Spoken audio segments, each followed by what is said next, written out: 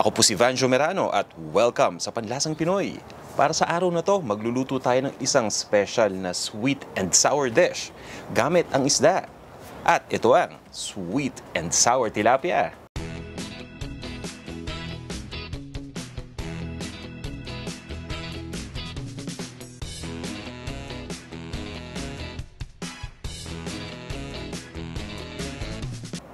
Ito yung mga sangkap na kakailanganin natin. Tilapia. Pwede rin kayong gumamit ng kahit anong uri ng isda. Nilinisan ko na to at nalagyan ko na ng incision sa gilid. Red bell pepper at green bell pepper. Hiniwa ko lang into thin strips. Gagamit din tayo ng carrot at ng luya. Ito naman yung sibuyas na pula. Bawang na dinikdik ko lang at hiniwa ko ng malilit na peraso. Tomato ketchup. Kailangan din natin ng sukang puti, asukal, cornstarch, at ng Knorr liquid seasoning. Bukod sa mga sangkap na to, gagamit tayo ng tubig, ng mantika, ng asin, at ng ground black pepper. At ito naman yung kompletong listahan ng mga sangkap na yan.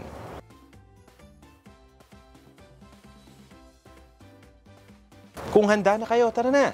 Magluto na tayo! I-prepare muna natin itong tilapia. Kung mapapansin ninyo, no, nilinisan ko na itong mabuti at nilagyan ko ng incision sa gilid. Kukuha lang ako ng Knorr liquid seasoning.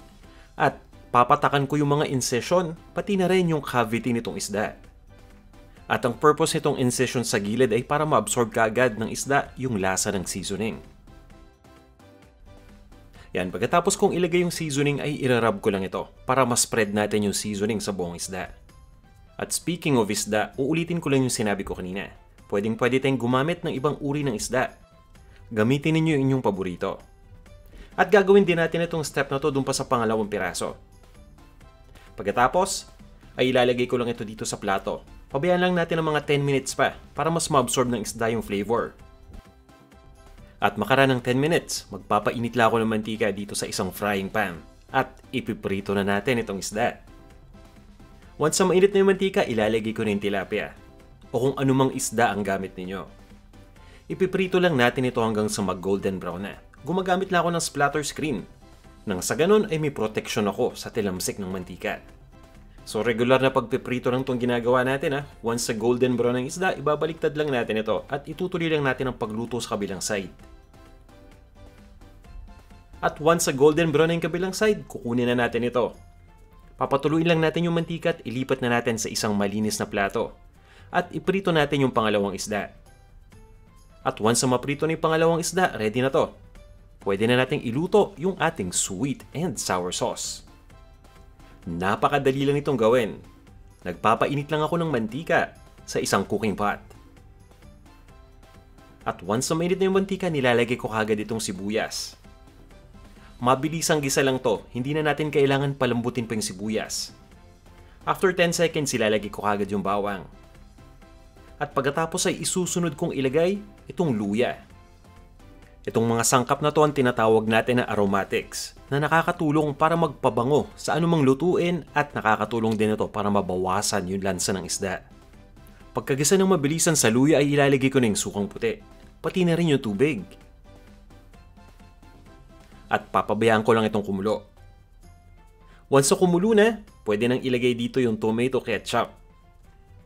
At hahaluin ko lang ito hanggang sa mag-dilute na ng tuluyan dito sa mixture. Tandaan ninyo at tomato ketchup ang gamit natin, hindi banana. Dahil kung banana ketchup ang ating gagamitin, kailangan nating baguhin yung ratio ng mga ingredients. Okay?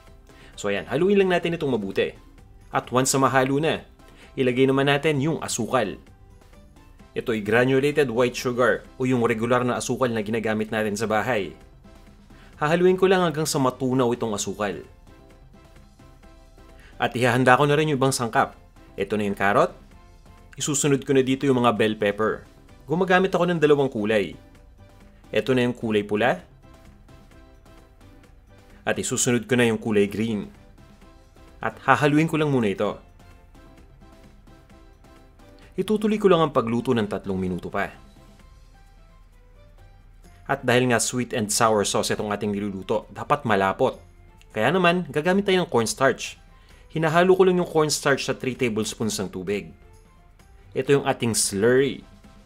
Pagkalagay ng cornstarch, haluin natin kaagad nang sa ganun hindi ito mamuo sa isang location lang. Itutuloy ko lang ang paghalo hanggang sa lumapot na itong ating sweet and sour sauce. And at this point ay ready na to. Titimplahan ko lang. Naglalagay lang ako ng asin. Pati na rin ng ground black pepper. Pwede kang gumamit ng ground white pepper. Hahaluin lang muna natin para mag-spread mabuti yung lasa ng seasoning.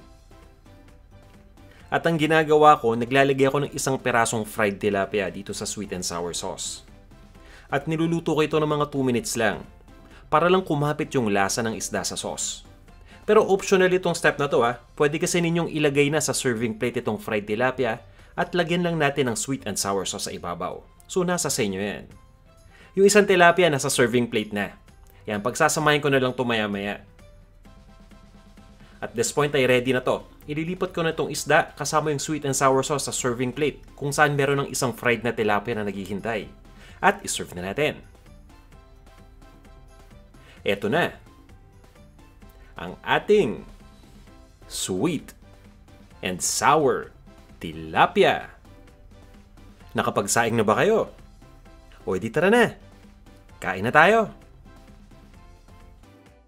Maraming salamat sa pagnood ng video na to. Sana may natutunan kayong bago at sana subukan nyo rin tong ating recipe para naman matikman ninyo kung gaano to kasarap.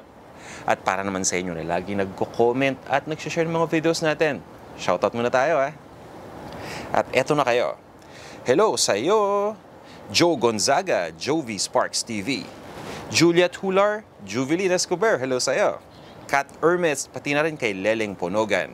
Hello, Luto ni Diana Vlog. Hello rin Makulit45, Mark Cruz Kitchen, Marlo Tanyan at Memory Dump. Hi sa'yo, Misunderstood, Miss Han, Maylin Laureles. Hello rin Yor Eduardo's Kitchen. Hello Pamela Berryman, Pinay OFW.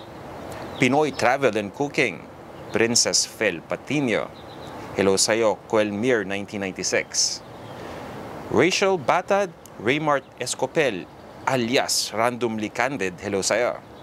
Hello rin Race Assure, Rene Sarkinia, Rose Prieto, Rosel Ruiz Nofki. Hello Ruby V, Sarah Plain and Tall, Senorita, Shai Manuel, Shakira May De La Rosa. Hi rin Sheena Malaga, Taste with Joel. Hello rin sa'yo, Teresita Tagara Salvador. Tinker Wonderland, Toto Rivas Food TV, Vicky Demirin at Watch Play Day. Maraming salamat sa inyo lahat sa laging pagko-comment sa ating mga video at pag-share na rin. Sana huwag kayong magsawa. At para naman sa inyo na hindi pa nagsasubscribe dito sa YouTube, inimitahan ko kayo na mag-subscribe na. I-click nyo lang yung subscribe button na nasa ilalim ng video. Kung meron kayong mga recipe request, sabihin nyo lang sa akin. Mag-comment lang din kayo. At dun sa mga hindi pa nagpa-follow sa Instagram, iniimbitahan ko kayo na mag-follow naman please.